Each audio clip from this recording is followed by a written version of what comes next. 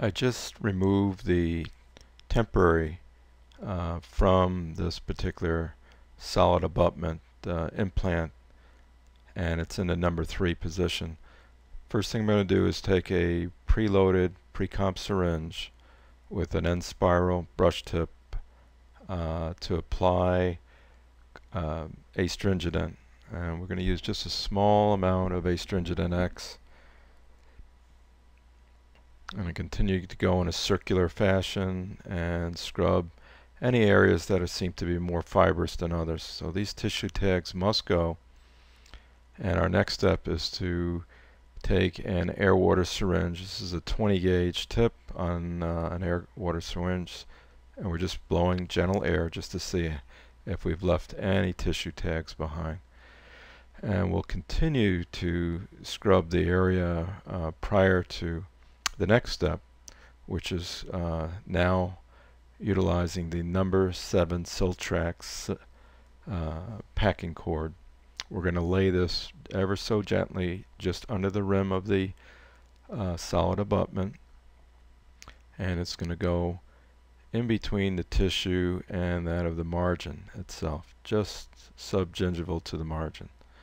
Now we're using uh, everything from a uh, even the suction tip is a 20 gauge suction tip needle and that also can be used to push the cord under the rim of the implant.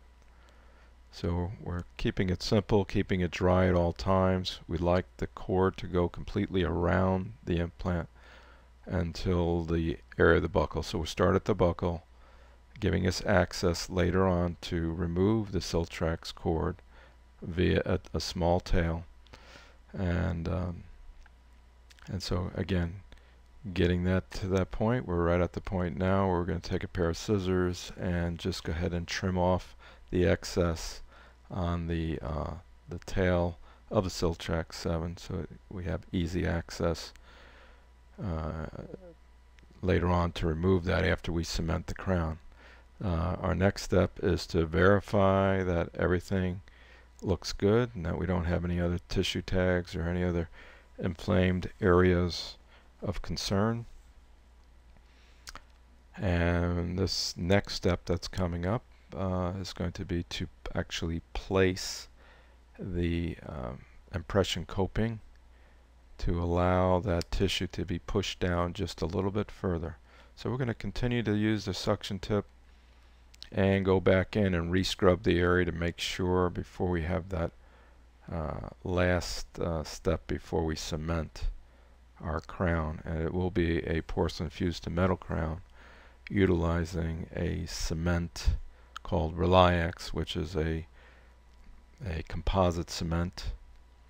Very difficult to remove the cement in the subgingival zone so we're going to keep that cord in there uh, up until the time we cement it and and allow that cement to set. So here comes the the uh, impression coping. We're going to go ahead and snap that in place and right on top of the Siltrax cord. So we have Siltrax cord now is being seated subgingivally and there is our impression coping in place and we'll let that set for a few minutes come back in use a little bit more astringent or all the way around 360 degrees around the impression coping uh, you might think that we're ready to take an impression at this point. Well, we do do the same procedure, only without the Siltrax cord in there for the final impression.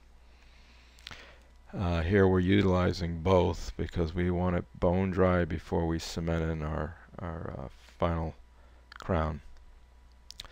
Again, we're scrubbing now with the soap. Here I'm going to take a little bit of Vaseline on a micro brush and I'm going to go around our metal to ceramic crown now going in the gingival zone in the emergence profile area I'm also going to take some of the Vaseline and lubrication, lubrication all the way up into the contact area as well. Be very careful not to get it on a margin or inside the coping at this point. We do use a microscope for every procedure. We feel it's important to give ourselves the best uh, view that we can we can have to do this type of procedure. All right. and that'll go right over to the refrigerator to cool the crown down. We know that temperature is a factor here, so we like to now go ahead and cover the the screw hole of the implant with just some orthodontic white wax. We'll go ahead and apply that now and we'll clean off the excess with a long explorer.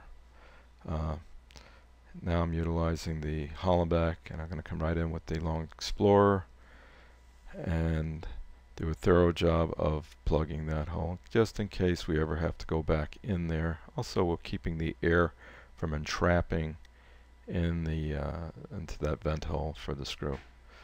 Alright, rechecking with lar large explorer around the abutment internally as we would do if we were taking an impression as well.